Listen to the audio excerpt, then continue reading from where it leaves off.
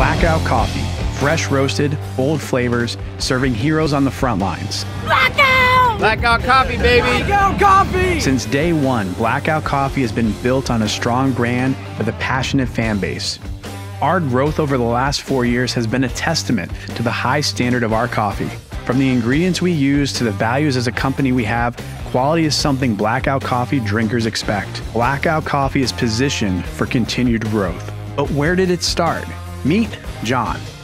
Our thought process in the beginning was to make a coffee for all the everyday American uh, that works hard, plays hard, and never stops. We actually started playing around with the beans and we came up with different types of beans to make a really strong coffee that does not give you the jitters. I decided to join Blackout Coffee a few years ago mainly because our values aligned.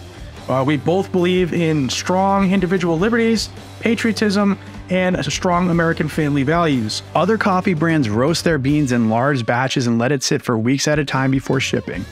Blackout Coffee ships its products within two days of roast to ensure the freshest coffee possible. From the moment we get them, we uh, we check for quality, we roast, and basically gets bagged within the next two days and shipped out to the customers. So it's as fresh as you can get. With over 100,000 orders shipped since 2018 and over 50,000 orders shipped in 2022 alone, Blackout Coffee's production has boomed.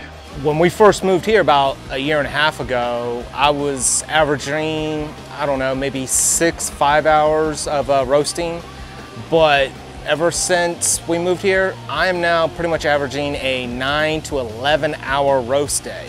But that's because we have picked up business so much that as soon as it's made, on certain days, as soon as it comes out of the cooling bin, it's already in bags being packaged and shipped out that day. I tell you, one of the smoothest, best dark roast coffees I've ever had. Wait, you take the whole jug? Mm. Fresh cup of coffee, blackout coffee, absolutely delicious. My first stop, I came right here for some fresh coffee.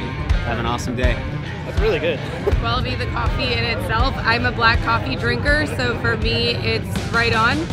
Blackout coffee, the greatest.